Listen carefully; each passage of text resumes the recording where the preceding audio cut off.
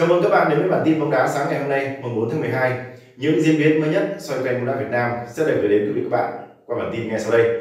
Mời các bạn cùng lắng nghe. Các bạn thân mến, tiếp tục với phần điểm tin bóng đá sáng ngày hôm nay, mời các bạn đến với những tin tức chính sau đây. Huấn luyện viên Campuchia tuyên bố cực sốc cả Đông Nam Á choáng. Hùng Dũng không được dự Af Cup 2021. Xoay quanh công phượng thay Quang Hải, huấn luyện viên Park Hang-seo sẽ chinh phục Af Cup bằng biến thể mới. Người hâm mộ Trung Quốc nổi giận vì lo huấn luyện viên mới của Trung Quốc dễ biếu điểm cho Việt Nam. Mời các bạn cùng đón nghe. Huấn luyện viên Campuchia tuyên bố cực sốc cả Đông Nam Á choáng. Các bạn thân mến, mới đây huấn luyện viên Honda của tuyển Campuchia khẳng định là ông đã nghiên cứu rất kỹ từng đối thủ và sẽ đánh bại những đội tuyển mạnh nhất trong đó có cả Việt Nam. Nhưng liệu huấn luyện viên người Nhật này có làm được điều đó hay không? Tuyển Campuchia đã có mặt ở Singapore để chuẩn bị tham dự AFF Cup 2021. Phát biểu với truyền thông, huấn luyện viên trưởng tuyển Campuchia Keisuke Honda tỏ ra cực kỳ tự tin, cho rằng ông và các học trò sẽ có cách để đánh bại những đội mạnh nhất ở khu vực Đông Nam Á, trong đó có tuyển Việt Nam. Bảng đấu của chúng tôi gồm rất nhiều đội mạnh, nhưng với tư cách là huấn luyện viên trưởng, tôi sẽ nghiên cứu kỹ lối chơi của từng đội, chiến thuật của họ như thế nào để đánh bại những đội mạnh nhất. Được biết là tuyển Campuchia do trợ lý FA dẫn đầu đã bay đến Singapore, sau đó thì Keisuke Honda từ Nhật Bản hội quân cùng đội để bắt đầu tập luyện. Đội tuyển Campuchia sẽ có 4 buổi tập trước khi đã trận mở màn với Malaysia ngày 6 tháng 12. Trợ lý FA cho biết, chúng tôi sẽ sử dụng 4 ngày còn lại để tập luyện và chuẩn bị cho những trận đấu. Chúng tôi cố gắng thể hiện tốt nhất trước các đối thủ mạnh. Với huấn luyện viên Keisuke Honda thì ông này từng là một cầu thủ lừng danh của tuyển Nhật nhưng trên cương vị huấn luyện viên lại chưa thành công và gần như chưa để lại được dấu ấn nào đáng kể khi dẫn dắt tuyển Campuchia. Dưới triều đại của Honda thì sức mạnh của tuyển Campuchia không được cải thiện là bao. Minh chứng là ở giải đấu mới nhất mà tuyển Campuchia tham dự vòng loại thứ hai World Cup 2022, họ chỉ giành đúng một điểm trong số 8 trận ở bảng C, ghi hai bàn, thủng lưới 44 bàn. Đặc biệt là trong hai trận gặp Iran, Campuchia lần lượt thảm bại với tỷ số cực kỳ đậm là 0-14 và 0-10. Con số đó cho thấy Campuchia vẫn là đội rất yếu khi bước ra sân chơi châu lục. Còn tại khu vực Đông Nam Á, đội bóng này chưa từng giành thành tích đáng kể nào ở F Cup. Tại kỳ Áp Cup năm 2018, Campuchia và tuyển Việt Nam cũng nằm chung bảng. Ở giải năm đó thì thầy trò huấn luyện Park Hang-seo dễ dàng đánh bại đối thủ này với tỷ số 3-0 để thuyết phục sau các pha lập công của Tiến Linh, Quang Hải và Văn Đức. Ở giải năm đó thì như tất cả đã biết là Việt Nam thẳng tiến đến ngôi vô địch thì Campuchia bị loại sớm do xếp hạng 5 ở bảng A chỉ trên Lào ở thời điểm này thì Campuchia vẫn bị đánh giá là cửa dưới so với ba đội ở bảng B bao gồm Việt Nam, Indonesia và Malaysia. Khi đối đầu với thầy trò Louis luyện tuyển Campuchia về tương quan vẫn thua thiệt về mọi mặt từ lực lượng, kỹ thuật, bản lĩnh và kinh nghiệm. Chắc chắn thầy trò ông Keisuke Honda sẽ phải thi đấu cực kỳ nỗ lực và mong chờ những cơn địa chấn xảy ra thì mới có thể cạnh tranh với các đối thủ mạnh để vượt qua vòng bảng. Nếu không thì viễn cảnh thầy trò ông Honda về nước sớm là rất dễ xảy ra. Người hâm mộ Trung Quốc nổi giận lo huấn luyện viên mới của đội bóng nước này dễ biếu điểm cho Việt Nam. Các bạn thân mến, rất nhiều phản ứng tiêu cực đang nổ ra trong cộng đồng người hâm mộ bóng đá Trung Quốc với việc là Liên đoàn bóng đá nước này đã bổ nhiệm huấn luyện viên Li Xiaopeng thay thế cho ông Li Tie làm huấn luyện viên trưởng đội tuyển quốc gia. Theo thông báo chính thức từ CFA, Liên đoàn bóng đá Trung Quốc thì sau đơn từ chức của ông Li Tie, huấn luyện viên Li Xiaopeng đã được bổ nhiệm vào vị trí huấn luyện viên trưởng đội tuyển quốc gia Trung Quốc cũng theo đó thì huấn luyện viên Li Xiaopeng được bổ nhiệm là quyết định sau khi tham khảo ý kiến rộng rãi. Thông báo này của liên đoàn đã khiến cho dư luận cũng như người hâm mộ bóng đá Trung Quốc bày tỏ sự phẫn nộ, cho rằng vì sợ bị chửi nên liên đoàn bóng đá Trung Quốc mới đánh bùn sang ao, thêm tham khảo ý kiến rộng rãi vào để rũ bớt trách nhiệm của mình.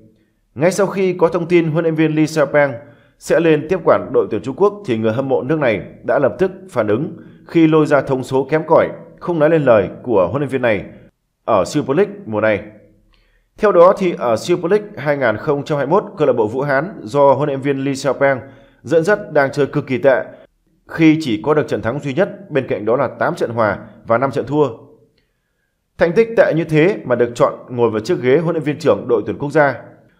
Các con số không biết nói dối, các ông trưng cầu ý kiến rộng rãi ở đâu thế? Chọn Lee Xiaopeng cầm quân đội tuyển Trung Quốc để mà biếu điểm cho Việt Nam à? Rất nhiều người hâm mộ Trung Quốc đã bày tỏ ý kiến tương tự với tài khoản Weibo này. Bên cạnh việc công kích dữ dội Liên đoàn bóng đá Trung Quốc với quyết định chọn huấn luyện viên Lee Sepang thay cho ông Litier, không ít người hâm mộ quay ra tiếc nuối cho sự ra đi của huấn luyện viên từng cùng đội tuyển Trung Quốc có được chiến thắng sát nút 3-2 trước Việt Nam. Họ bày tỏ, mấu chốt của việc Litier phải rời ghế là bởi anh ta quá cứng đầu và không đủ thông minh. Nếu cứ tung hết cầu thủ nhập tịch vào sân ngay từ đầu trận thì kể cả có thua đi chăng nữa cũng có thể đổ lỗi cho năng lực của cầu thủ nhập tịch, bớt đi trách nhiệm của mình. Lee Sepeng thì chỉ bóng bẩy và hòa đồng thôi, chứ thành tích thì thật thảm hại, chẳng mấy mà phá nát đội tuyển Trung Quốc. Hùng Dũng không được dự AF Cup 2021 Các bạn thân mến, tiền vệ Đỗ Hùng Dũng đã không được các cơ quan có thẩm quyền của nước chủ nhà giải quyết thủ tục xin cấp phép nhập cảnh vào Singapore. Ngày 3 tháng 12, Liên đoàn bóng đá Singapore thông báo là Đỗ Hùng Dũng không được các cơ quan có thẩm quyền của nước chủ nhà giải quyết thủ tục xin cấp phép nhập cảnh vào Singapore để tham dự AFF Cup 2021. Trước đó thì sau khi kết thúc giai đoạn điều trị hồi phục chấn thương, như đã biết là Hùng Dũng đã được huấn luyện Park Seo triệu tập bổ sung lên tuyển Việt Nam tham dự AFF Cup. Tiền vệ của các đội bộ Nội FC đã hội quân cùng các đồng đội tại Vũng Tàu vào ngày 27 tháng 11. Đồng thời VFF cũng đã tiến hành đăng ký Hùng Dũng vào danh sách chính thức của tuyển Việt Nam như quy định của ban tổ chức. Tuy nhiên thì thời gian làm thư mời cho các cầu thủ thi đấu ở AF Cup 2021 là đến hết ngày 24 tháng 11, trong khi trường hợp của Hồng Dũng phải đến ngày 29 tháng 11 mới bổ sung hồ sơ. VFF và Đại sứ quán Việt Nam ở Singapore cũng đã làm các thủ tục cần thiết để Hùng Dũng có thể tham dự AF Cup, nhưng tiếc là các cơ quan chức năng của nước sở tại vẫn căn cứ theo quy định của chính phủ Singapore và không đồng ý cấp thư mời cho tiền vệ này. Như vậy là Hùng Dũng sẽ lỡ hẹn AF Cup, điều rất đáng tiếc với cá nhân tiền vệ này cũng như tuyển Việt Nam. Với sự vắng mặt của Hùng Dũng thì tuyển Việt Nam của chúng ta sẽ có 29 cầu thủ thi đấu ở AFF Cup. Bởi quy định nói trên của chính phủ Singapore, tuyển Việt Nam sẽ không thể có thêm bất kỳ một sự bổ sung nào.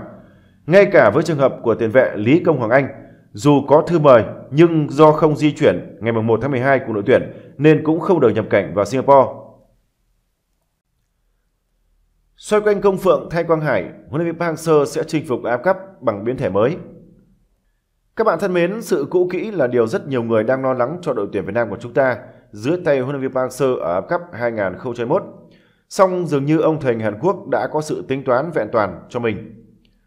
Hành trình thành công của huấn luyện viên Park Seo cùng một nam Việt Nam, nhất là ở AFF Cup 2018, gắn liền với hệ thống chiến thuật 343 và 541 của ông thầy Hàn Quốc.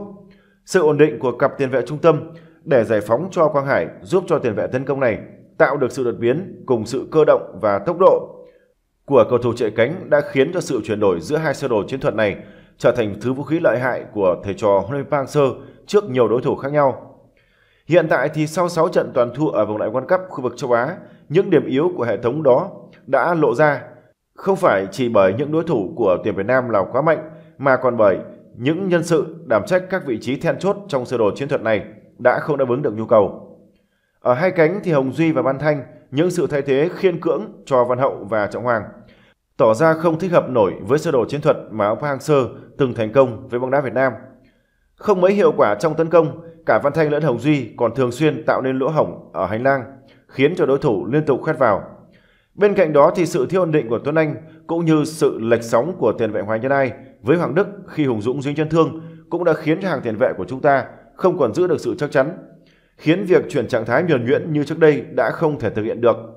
Dĩ nhiên là huấn Park đã sớm thấy điều đó và ông đã có sự điều chỉnh. Và có thể nói đến thời điểm này, sự điều chỉnh đó cơ bản đã hình thành và sẽ là thứ vũ khí lợi hại của tuyển Việt Nam nhằm chinh phục chiếc vô địch AFF Cup 2021. Vẫn dựa trên lối chơi ba trung vệ từ trận gặp Malaysia và Indonesia hồi tháng 6 vừa qua, Huấn luyện viên Park Hang-seo đã chủ động cho đội tuyển Việt Nam đổi sang sơ đồ 352 thay vì 343 hay 541. Đến thời điểm này thì đây là sơ đồ chiến thuật phát huy tốt những khả năng của những nhân sự mà ông đang nắm trong tay. Thay vì đóng vai trò trung tâm để tạo ra sự đột biến trên hàng công thì Quang Hải sẽ cùng với Hoàng Đức hoạt động tự do ở hai biên, vừa chám cho hai cánh của Hồng Duy và Văn Thanh, vừa tạo thêm sức mạnh tấn công ở bên cánh. Hỗ trợ cho bộ đôi này sẽ là một tiền vệ đánh chặn khi có khả năng thu hồi vào luân chuyển bóng tốt như Đức Huy hoặc Tuấn Anh. Khi đó thì nhân tố quan trọng nhất mà huấn luyện Park Seo cần đến không phải là Quang Hải mà chính là người bắt chiếc cầu nối giữa hàng tiền vệ với Thiên Linh đã trung phong cao nhất. Câu Phượng Câu Phượng với khả năng hoạt động rộng, cầm bóng tốt và khả năng đột biến của mình sẽ là chìa khóa giúp cho thầy Park mở ra cánh cửa vào khung thành của đối phương. Ở AF Cup 2018, Công Phượng ghi được 3 bàn thắng. Ngoài bàn thắng mở tỷ số ở trận khai màn gặp Lào và bàn thắng chốt hạ trước Philippines đưa tuyển Việt Nam vào chung kết, tiền đạo này còn ghi một bàn thắng cực kỳ quan trọng để mở điểm ở trận gặp Malaysia ở vòng bảng. AF Cup lần này, trọng trách của Công Phượng còn nặng nề hơn nhiều. Nếu Messi Việt Nam hoàn thành trách nhiệm mà thầy Park giao phó thì con đường chinh phục cúp vàng của tuyển Việt Nam sẽ bớt gập gành đi các bạn thân mến, trên đây là bản tin bóng đá sáng ngày hôm nay, mùng 4 tháng 12. Cảm ơn quý vị các bạn đã quan tâm theo dõi. Xin chào và hẹn gặp lại quý vị và các bạn ở những bản tin tiếp theo.